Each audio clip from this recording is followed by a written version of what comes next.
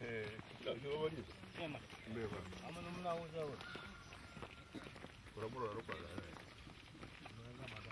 Eh, hii ndio barabara ambapo tuli- tulipea eh, contract. Wewe ufanye, inatoka hapa Msembe inaenda mpaka kwa daraja pale chini, inaita Eboso. Eh, inaita jina Eboso.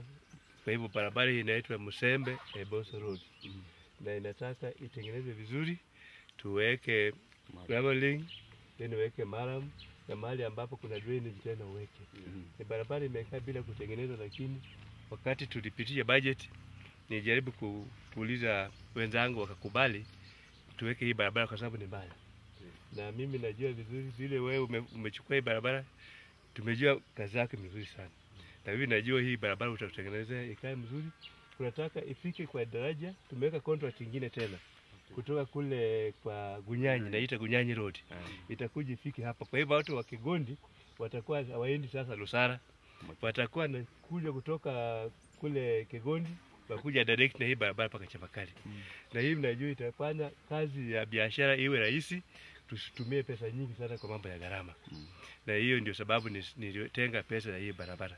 Kwa hivyo nataka kuhimiza kwako na wewe uhakikishe mimi hii barabara utaitengeneza kwa muda gapi na itaisha namna gani, itakuwa mzuri vile tunafikiria, lakini uhakikishe wananchi hawa wasikie hii barabara utatengeneza kwa muda gapi na utaweka mambo ya maram na rolling. Kuna wengine wanaweka maram afanye rolling. mm. Sasa mvua ikija ina inakilia hiyo inabaki vile ilikuwa.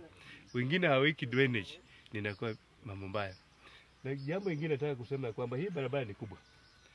Kama kuna wale wengine wamejenga maweka mpaka yao imeingia kwa barabara, nataka wasikie ya kwamba hiyo barabara itatengenezwa katika vile inatakiwa. Kama wewe umeweka vitu yako hapo, itabomolewa na kwa sababu wananchi ndio wanataka barabara, na sisi tumesema barabara itengenezwe vile inatakiwa itengenezwe.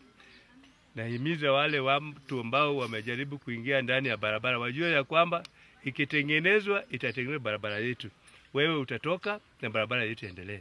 Na hiyo wewe injinia, usiogope, weka trakta yako ilime barabara, kwa sababu hao wataka barabara. Na mimi nataka tutengeneze bara barabara.